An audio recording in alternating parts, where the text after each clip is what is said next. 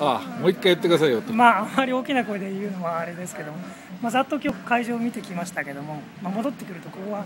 ちゃんとしてますよね。そうここっていうのはそう。のサービスしてますよねちゃんとね。そう建築系ウィスラジオですけど、えーかなりちゃんとしてんですよ。一見なんかあのチープなものを書いてチープに展示してるように見えますけど実はあのきちっと格付けして芸術分析してやってるので。まあ、やっぱりその人に物を見せようという意思はあります、まあ、当たり前なんですけど他なんだろう、まあ、今日金曜日だからってこともあるかもしれないです、まあ、やってなかったりするところはありますけども。あんま見せ見せるようなブースでもまたちょっとなくて独特なノリありますよね。ねあの、えっと、今、まあ、特に今日紹介しようと思うのはあの栃原ひなさんの、えっと、これははがき台で作ってるんですけどこういう、えー小さなドローイングですけどこれもあのまあ1回目書いてる時は六流で書いて六流で書いて一流に上げてさらに超一流から6400まで上げてるんですよね。これはね。これそうですね。こちら辺はもう6流じゃないこれ最初からここの小さな先に書いてから今度は A4 の大きいのを書いてるんですよね。でここ今実はどちらさんのものだけなんですけどはえっ、と実はコピーが並んでるんですね。で本物ちょっと見せてください。それはまあどちらさんの書いたものが良かったのでここにその展示して傷めるっていうのがちょっと嫌だったんですね。あの江戸崎さん知ってますけど実はこの間、えー、帽子が主催のあの展覧会で土地屋さん出したやつを傷められたのではいはいはい。だからまあちょっとまあ僕の場合は結構様子見て出してるんだけどこの間もえっ、とまあ危ないなと思うところだとレベルの低いものを出すんですはいけどね、まあ、あの時でも危なさは特別ですけど、うん、だから、まあ、こちらがオリジナルなんですねえっ、とこれどこでしたっけ？これは例えばこれがオリジナルでありましてオリジナルとコピーカラーコピーで。カラーコピーったって2人でカラーコピー飛んでこれだけ撮ってると実はあの2時間半かかってて手間大変ですよね、えー手間大変で。まあオリジナル綺麗ですよね。あの、はい。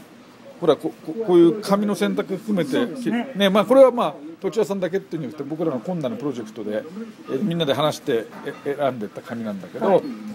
まあかなりこれはオリジナルですけどこういうこれは僕のですけど土地屋さんもこの紙使ってますけどこういうね普段を使わない紙を使おうとしたわけですね。それはこういう展示会場の中で、えーまあつまりここでしかできないことを考えたわけですよね。その時にまあ普通は使わないこういう、まあ、装飾的な紙を使ってでやってみたら結構面白いっていうか新し新しさが出てよかったんですよね。あと今回土地屋さんいろんなことやってらっしゃるけどまあだから一番最初この小さいのを作ってそれからこの中ぐらいのを作ってさらに大きいのをこれは模造紙なんだけど大きいのでまあ非常にチープな感じに書いてんだけどそれなりに一生懸命書きましたよね面白かったですね。どうですか？どうっていうかまあ小さいのから書いてたので意外と書いたら面白かったので良かったんですけど。そうですね。まあこれあの普段まあ一つはここんなにか簡単なポスターみたいな作品なんだけどえー、と彦坂流の格付けだとやっぱり芸術物的には超一流から6400あってそれからイラストに見えるけど現芸術芸術半月非芸術民芸術現芸術あってもちろん現イラストレーションっていうのがありまして現イラストレーションイラストレーションもあって現デザインもありますね。だから現シンボルシンボル半シンボルっていうのもあるしまあ非常に総合的な仕事だったわけですね。でここで今回、まあ、と特徴的にやったのがその唇を赤く塗ってるとか、えー、と目ん玉白く塗るとかっていうのでいわゆるこう社会的通念上のものとか、まあ、キッチュって言ってもいいですけどそういうものをかなりえあの部分的には大したことないですよね。唇と目目玉ぐらいですよね。を入れることでどうだったですか？入れてみて。ハマりますよね。ハマりますよね、うんでまあそういう表現で。まああのーこの路線自体はなんていうのチチープな素材を使うっていうのは、はい。まあ、糸崎さんなんかチープな素材使ってらっしゃるからだけど、はい。はいチープな素材使うっていうのは当然これあのん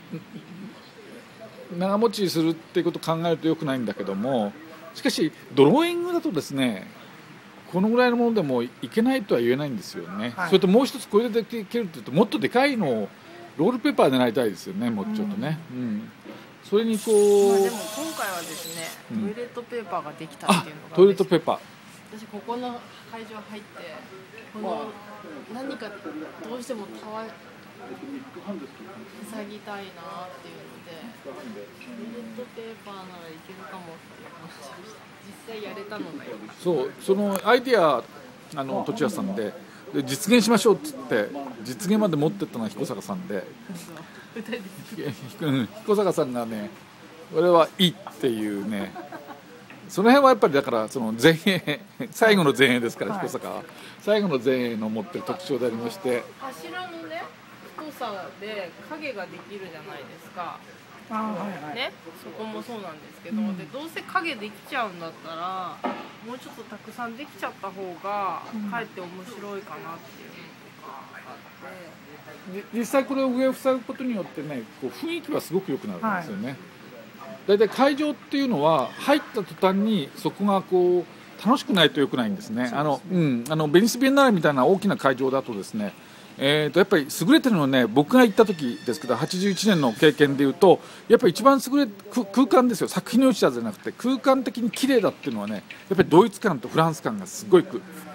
あの自然最高上から自然最高でやってるせいもありますけどもう会場に入ると空気がこう粒立って炊きたてのご飯みたいにこう立ってるんですよね。すごく幸せになる空間作っていくんですね。だからそういう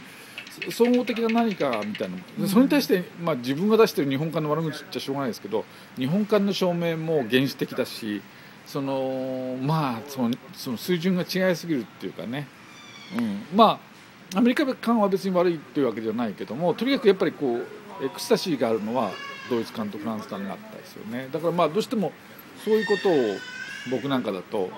チープな素材でこう考える。これは1週間の展覧会ですからこれをお金かけて改装したってしょうがないわけなのでトイレットペーパー 4, つ正確には4つよりも倍で8個使ってますけどこういうことですね。あと今回、まあ、土地屋さんのを今中心にしたいので、まあ、土地屋さん関係だけにしておきますけど、まあ、トイレットペーパー土地屋さん関係のあとこの前にもお見せしたけどお人形これ必ずしも壁につけて可愛いですけど壁につけなくても可愛いんですよね。ただ床に持ってくるとやっぱり台座つけないとちょっと立つのが危ないここにも今テレビで流れてますけど。そう。意外とここんな大きいもうちょっと小さいのこの紐は人形から出てるの？そう出て入れてあったからまあ切らないでもここれでちゃんとしてるからいいやっていうのでこのままにしてあるんですけど。あと何かありましたっけね？そこまでかなまあ全体にねあの今回でいうと全体にやっぱり制作を先行させてったのは彼女だったはい。彼女がバカバカ作っていくから引きずられて僕も作るっていう感じで彼女がこういう人形を作るから人形っていうか彫刻になってますけどね。これ普通に言えば人形ですけど彦坂の言語版ってことは現彫刻彫刻半彫刻非彫刻無彫刻世間的彫刻はないですけど形骸炎上崩壊までありますよね。だから、まあ、何が人形と彫刻を変えるかさっきもちょっとその議論になったんだけどね、えー、と難しくて。だからでもそういうことがあるというかねこうそういうことがだからなんていうんですかね。まあもう時間だからやめときますけどちょっとじゃあそれはもう一回一回切ってもう一回だけ？